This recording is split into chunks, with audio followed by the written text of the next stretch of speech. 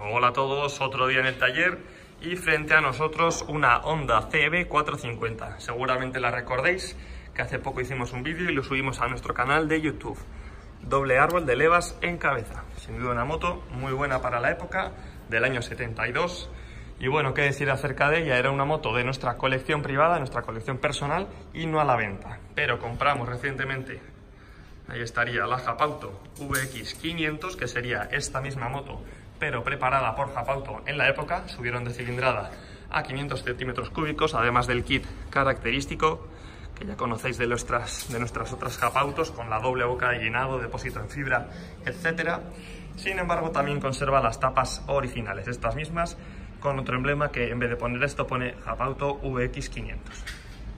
Y bueno, esta moto sin duda es una muy buena unidad, matrícula nacional, y más que una customización completa van a ser retoques. Como veis, freno tambor, los escapes son los originales, está en muy buen estado, le hace falta limpieza sobre todo del bloque motor y lo que tenemos en mente, lo que hemos acordado con el cliente va a ser trabajar sobre el subchasis con la realización de un nuevo asiento, guardabarros trasero, delantero, quizás un manillar, las luces como los intermitentes y decimos que no va a ser una customización completa, sino retoques, porque esta customización va a ser reversible, es decir, que tendrá vuelta a origen.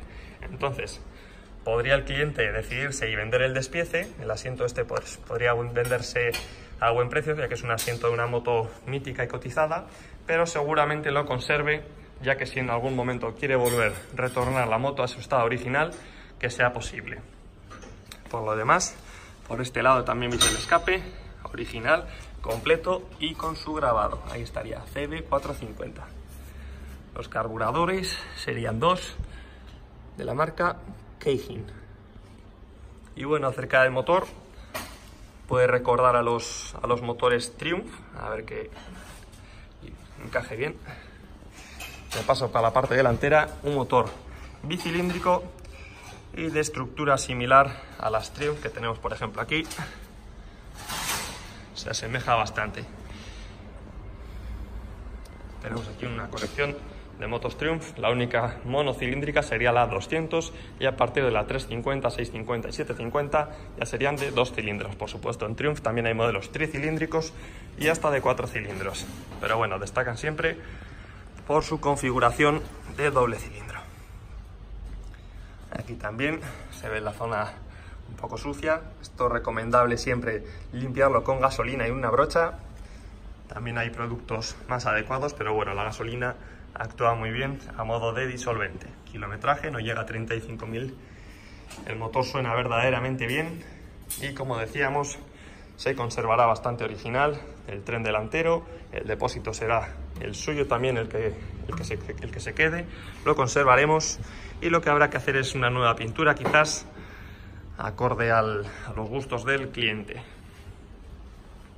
Quizás con una franja deportivo o igual quiere poner unos fileteados al costado para darle un toque más clásico. Así que nada, en breve habrá más vídeos y fotos de este proyecto, tanto en nuestras redes sociales, Café Racer Spirit, Instagram y Facebook, como en YouTube, que ya sabéis, estamos actualizando periódicamente nuestros avances motos CRSS originales customizadas y todo tipo de vídeos.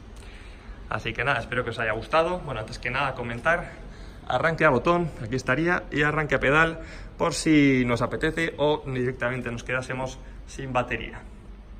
Así que nada, nos despedimos. Un saludo.